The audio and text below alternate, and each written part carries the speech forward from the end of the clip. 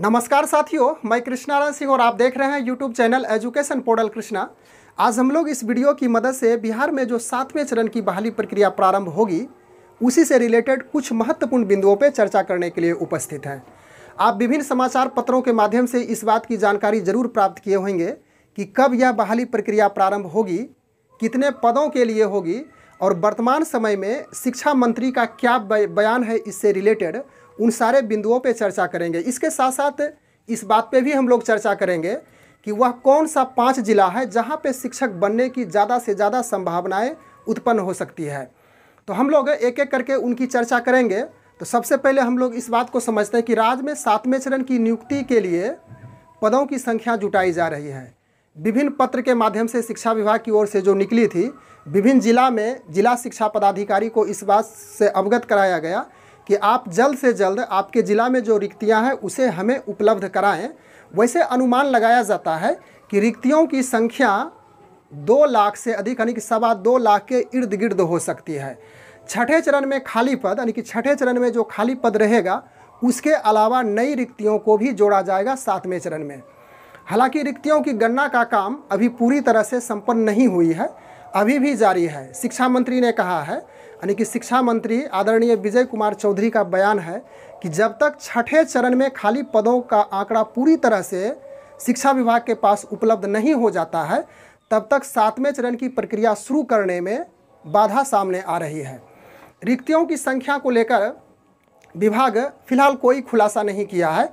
कि कितनी रिक्तियाँ हो सकती है। एक अनुमान, एक अनुमानतः बताया जा सकता है कि सवा दो लाख के लगभग रिक्तियाँ होगी। शिक्षा मंत्री विजय कुमार चौधरी ने, यानी शिक्षा मंत्री विजय कुमार चौधरी को पूछे जाने पर वह सिर्फ़ इतना ही कहे कि सातवें चरण में, जो छठे चरण की सभी रिक्तियों के अलावा पिछले कुछ सालों में जो रिक्त पद हैं और इसके साथ साथ जो सृजित पद हैं, उसको मिला करके सभी रिक्तियाँ जो होगी सातवें चरण के लिए, वह दो लाख से अधिक हो सकती है। शिक्षा विभाग की मंशा है कि सातवें चरण में छात्र शिक्षक, यानी कि छात्र और शिक्षक का जो रेशियो होता है, जो अनुपात होता है, उसी के आधार पर शिक्षक बहाली की प्रक्रिया को पूरी की जाएगी।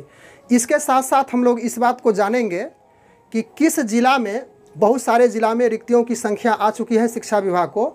और वह इस प्रकार है और यहाँ पे हम लोग इसको समझेंगे, इस बात को, कि किस जिला में अधिक संभावनाएँ होती है शिक्षक बनने की। तो छठे चरण में आप इस बात से भली भांति अवगत हैं कि एक दशमलव दो तीन लाख, यानी कि एक लाख तेईस हज़ार पद था जिसमें प्राथमिक और माध्यमिक विद्यालय के शिक्षक बनने के लिए थे।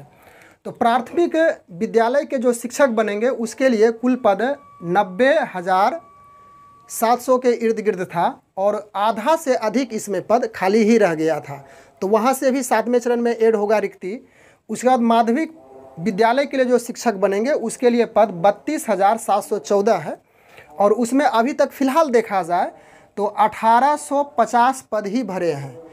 अभी और भी बहुत जगह काउंसलिंग की प्रक्रिया होगी तो इसमें जो बत्तीस हज़ार सात सौ चौदह पद है तो उसमें और भी कुछ पद फुलफिल होगा, लेकिन इसमें भी संभावनाएँ ज़्यादा से ज़्यादा बनती है कि रिक्तियाँ रह ही जाएगी, क्योंकि कुछ ऐसे भी विषय के अभ्यर्थी उन्हें नहीं मिल पा रहे हैं, जैसे साइंस हो, या तो फिर इंग्लिश हो, या तो हिंदी हो। तो इस तरह से कुछ ऐसे विषय हैं, वहाँ पे उन अभ्यर्थियों की संख्या कम होती दिख रही है, जिस वजह से बत्तीस हज़ार सात सौ चौदह पद में बहुत सारे पद खाली रह जाएँगे।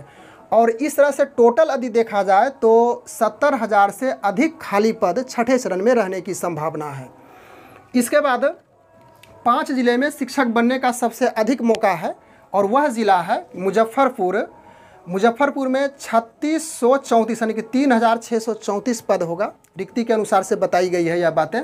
समस्तीपुर में पाँच हज़ार आठ सौ संतानवे, दरभंगा में चार हज़ार पाँच सौ बासठ, रोहतास में चार हज़ार एक सौ अड़सठ और पश्चिमी चंपारण में तीन हज़ार तीन सौ दस। तो इस प्रकार से देखें तो यह जो पाँच जिला है, मुजफ्फरपुर, समस्तीपुर, दरभंगा, रोहतास और पश्चिमी चंपारण, इसमें अधिक से अधिक शिक्षक बनने की संभावना, यानी कि ज़्यादा से ज़्यादा रिक्तियाँ हैं तो शिक्षक बनने की ज़्यादा संभावनाएँ परिलक्षित होती है, स्पष्ट रूप से दिखाई पड़ रही है।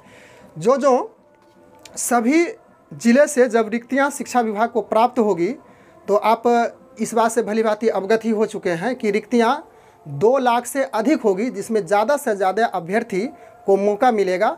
और इस बार जो नियोजन की प्रक्रिया होगी, दो नए बदलाव होंगे। इस बात को मैं बार बार रिपीट कर रहा हूँ। इस बात की आपको भी जानकारी है कि शिक्षक नियोजन में दो बदलाव होगा। पहला बदलाव तो आप समझ ही रहे हैं कि सेंट्रलाइज तरीके से यानी केंद्रीयकृत तरीके से ऑनलाइन फॉर्म लिया जाएगा। उसके बाद जो जन प्रतिनिधियों की भागीदारी होती है शिक्षक नियोजन में, उसको दूर किया जाएगा। मेधा अंक वहीं से बना दिया जाएगा और उसके बाद नियोजन इकाई को उसे सुपुर्द कर दिया जाएगा और उसी मेधा सूची के आधार पर स्टूडेंट का चयन, यानी कि अभ्यर्थियों का चयन होते जाएगा शिक्षक के लिए। तो हम लोग इस वीडियो की मदद से इतनी ही जानकारी प्राप्त करने के लिए उपस्थित थे कि अब जो यह शिक्षक की बहाली प्रारंभ होने वाली है, पहले तो हम लोग समाचार पत्र के माध्यम से इस बात की जानकारी प्राप्त करते आ रहे थे कि जुलाई के अंतिम सप्ताह में इसका आएगा तो वह तो टल गया। उसके बाद अगस्त में बताई गई कि यहाँ तक छठे चरण की बहाली प्रक्रिया ही चलेगी। तो सितंबर के अंतिम सप्ताह में शिक्षा विभाग की ओर से शेड्यूल जारी होने की बात संभावनाएँ बताई जा रही है।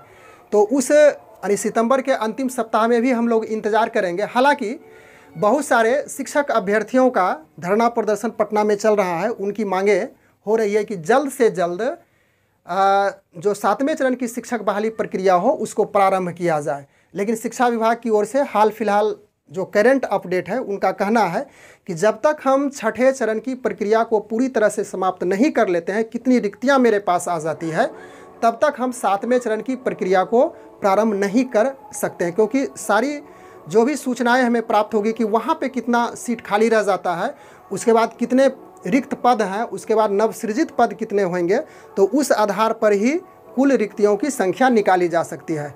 बस आज के वीडियो में इतनी ही चर्चा करने के लिए उपस्थित है। Thanks for watching good bye